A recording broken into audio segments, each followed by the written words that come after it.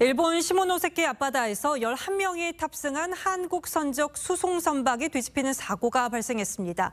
기상 상황이 매우 안 좋았는데 모두 11명의 승선원 가운데 8명이 숨졌습니다. 김주영 기자입니다. 거친 파도 속에 배 한 척이 바닥을 보이며 뒤집혔습니다.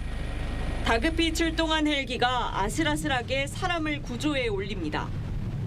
오늘 아침 7시쯤 일본 시모노세키시 앞바다에서 화학 제품을 운반하는 한국 선박이 전복됐습니다. 탑승자는 모두 11명이었습니다.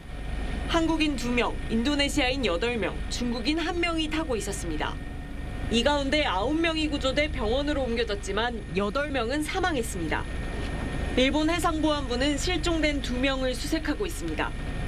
일본 해상보안부에 따르면 이 선박은 지난 18일 효고현 히메지항을 출항한 뒤 부산으로 향하는 도중에 악천후로 사고 현장 인근에 정박해 있었습니다. 일본 당국은 한국 수송선으로부터 배가 기울고 있다는 내용의 구조 신고를 받고 출동한 것으로 알려졌습니다. 사고 당시 인근 해역에는 폭풍 경보와 풍랑주의보가 발령돼 있었습니다. TV조선 김주영입니다.